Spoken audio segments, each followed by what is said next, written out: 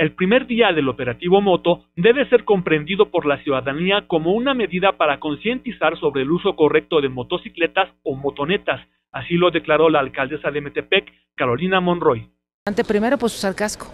Segundo, es indispensable también que la motocicleta se encuentre absolutamente regularizada, con placa. Este, es indispensable también que como cualquier otro vehículo que circula en las avenidas, pues respeten los señalamientos de tránsito. En el primer día del operativo se logró consignar a tres personas que portaban armas blancas. Eh, también fue posible, gracias a este operativo, detener a dos, tres personas y fueron puestas a, disposición del Ministerio Público. Eh, se les encontró eh, portando armas blancas y además, bueno, en cuanto vieron el operativo y la policía salieron huyendo. El programa para revisar las motocicletas y motonetas se realizará en días aleatorios y por diferentes puntos del municipio de Metepec.